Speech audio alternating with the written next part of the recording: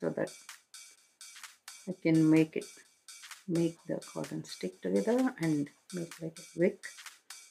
So I'm going to keep on pulling thin pieces of cotton in between using this and adding on to this thin part so like that. Little by little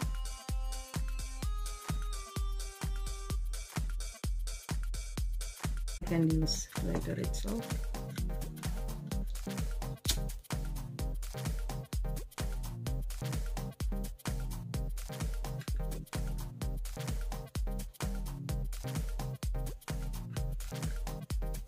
So my lamp is ready. So in india when we do some uh, uh, during some